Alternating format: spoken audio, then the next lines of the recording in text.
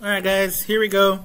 I'm going to show you guys today how to do that last question that I've been getting emails about like uh, Chavez, I don't know how to do a cubic regression.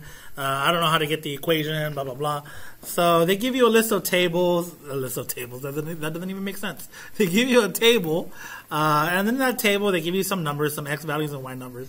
So on Desmos, go to Desmos and create a table. So here's my table, x1, y1 and you're just going to type in the numbers they give you. Uh, I'm making some up. Uh, well, okay, I'm not 100% making them up uh, because I tried up a cubic function that was perfect. Uh, so here we go. So I'm typing 5, 8, 21, 50, 101, and uh, I think I got them correct. And I don't see any of my grid points. Doo -doo -doo.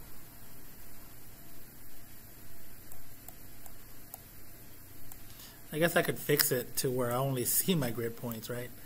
Uh, so let's see, zero to mm, I don't know seven, and then negative ten to 150. So there are my points right there. And I need to find a cubic function that fits these points. So what you do you type in, see how you have y1 right here and x1, that's a subscript there. So y subscript 1, x subscript 1. So what you do, guys, you go y1, and then you're going to hit the tilde, which is this little squiggly line. And then I just go, since they, I just, I'm just going to go down the alphabet, A, B, C, D. Uh, that's probably the form that they have it also.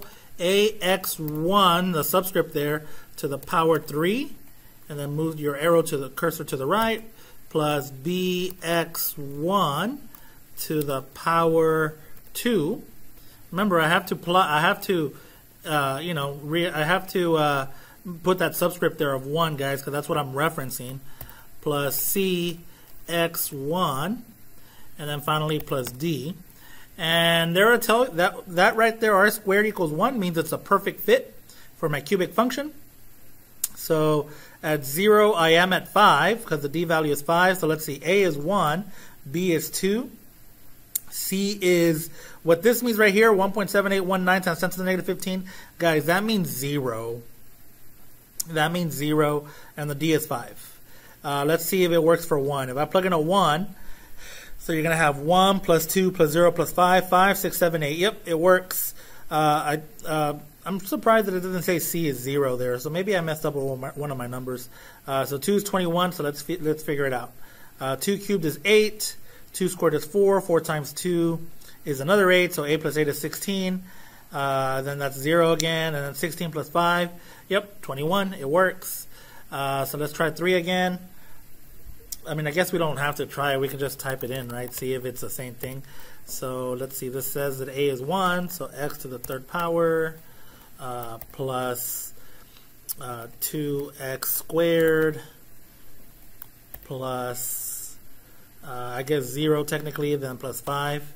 And if I were to make a table, and if I were to say x and then call this f of x, uh, if I plug in those same numbers, 0, 1, 2, 3, 4, uh, there it is. It's pretty much the same thing.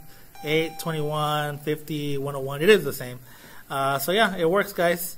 So there it is. That's how you do the last question. Hopefully that made sense. Let me know if it didn't make sense, guys. All right, bye.